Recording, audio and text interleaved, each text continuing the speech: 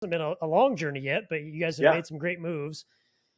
If you could talk to yourself at the beginning of that journey, basically, you know, what are the things you would do differently? What are some of the mistakes that you've made, and, and what would you diff- do differently the next time around? Holy cow! Um, I think I would I would try and chase myself down with a stick if I ever tried to sell a real piece of property again. I uh, I look back of of my uh, deployment to Afghanistan in 2012 that I got home in 2013. I purchased a home just after that and it's in, in Magna, Utah. And at the time, I purchased a three bedroom, two bathroom house with an unfinished basement on a great little lot, had mature fruit trees, had everything.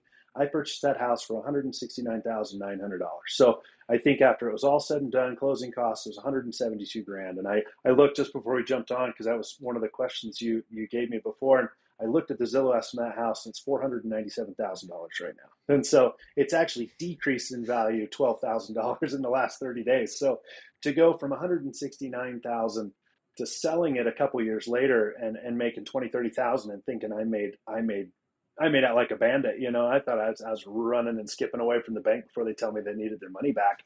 I look back at that now and, and the ways that I could have leveraged that is not only the, the equity I could have had in that house, but I could have refinanced that house two or three times at this point, finished the basement, really capitalized on that, and then had the rental income for the last nine years.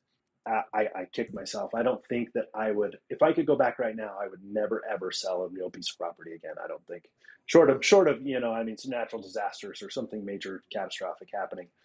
I, I think long term, if you have the ability to hold on to it, I would never sell a house again. Hmm.